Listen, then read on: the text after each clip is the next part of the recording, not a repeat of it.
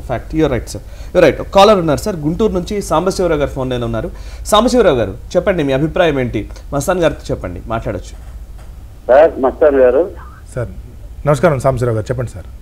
మీరు అబ్జర్వ్ చేసిన చాలా ధన్యవాదాలండి. సార్. ఎగ్జిట్ పోల్ గురించి.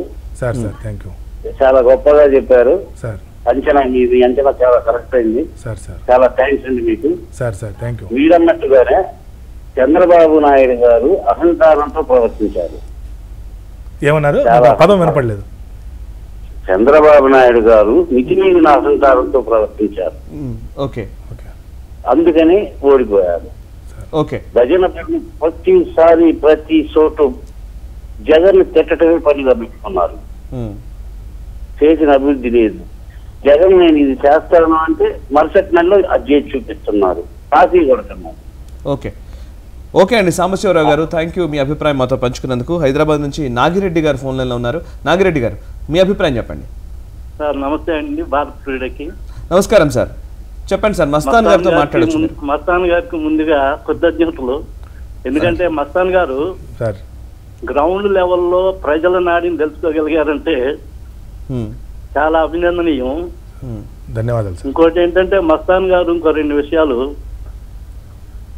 గ్రామంలో ప్రతి గ్రామంలో కూడా ఒక విషయం చెప్పారు ఇందాక ఏ పార్టీ కూడా పెన్షన్ కానీ దేనికన్నా పోతే.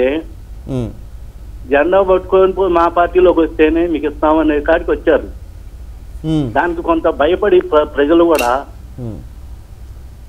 ఎక్కడా బయటపడలా మ్మ్. తెలుగుదేశానికి కోటేస్తాం వైఎస్ఆర్ పార్టీకి కోటేస్తాం దానివల్ల వీళ్ళు మనం అది ఇచ్చాం ఇది ఇచ్చాం కదా వీళ్ళందరూ మన వైపే అనుకున్నారు. తర్వాత ఇంకొకటి ఏంటంటే సార్ ఒక విషయం. గ్రామాల్లో చెరువుల్లో ఉన్నటువంటి మట్టి మొత్తం దోలుకొని గ్రామ ప్రజలను బాగా ఇబ్బంది పెట్టారు అన్ని గ్రామాల్లో. అప్పుడు చెరువులో వర్షం వర్షం పడితే నీళ్ళు బయటికి రావాలంటే అది ఎంతో వర్షం పడితే కానీ ఆ నీళ్ళు బయటికి రావు. లోతు పెరిగింది కదా. దానివల్ల. నీళ్ళు బయటికి రావు. దానివల్ల కూడా ప్రజల్లో అన్ని కులాల వారు కూడా. మా. గ్రామంలో చెరువు మొత్తం వేశారు నీళ్ళు పోయినాయి మా పంటలు పండట్లేదనే కూడా వ్యతిరేకత ఎక్కువైంది. ఓకే అండి రాగిరెడ్డి గారు.